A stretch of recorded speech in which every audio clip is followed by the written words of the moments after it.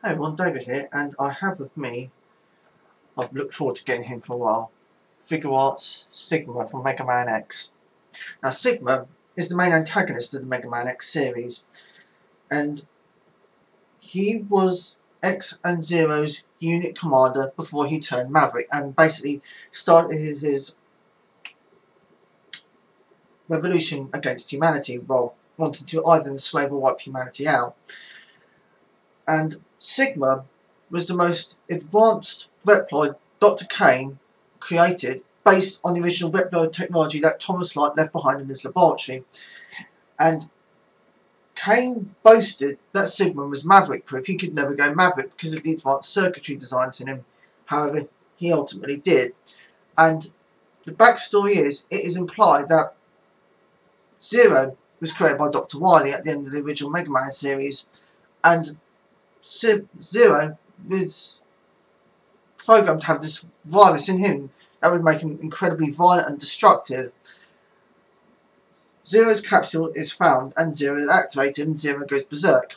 Zero and Sigma have a fight. Sigma smashes the jewel on top of Zero's helmet. The virus transfers into Sigma, the Wily virus as it's called, and it eventually turns into what's known as the Sigma virus and makes Sigma go Maverick.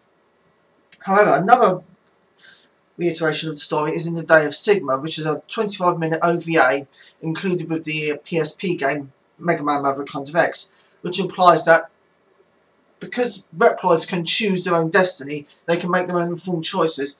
Sigma chose to become a Maverick and turn on his human creators and, and go against humanity. Uh, onto the figure itself. This is really nice. Um, it's not posable in any way, shape or form. It's solid vinyl, I believe, but it is incredibly well detailed. And this is how Sigma originally looked in his um, in the original Mega Man X. Um, and you see how Sigma gets those scars across his eyes. Uh, X quite literally just claws his hand down his face, and that's what gives Sigma his um, facial scars.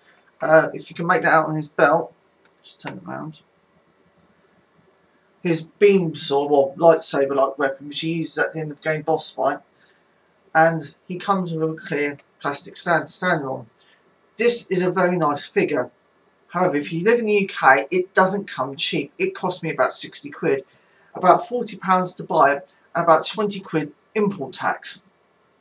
However, if you're a very big um, Mega Man X fan, I wouldn't hesitate recommending it. It is very nice. The detailing is very nice. The paint apps are very nice. The build quality is very good. It's very consistent.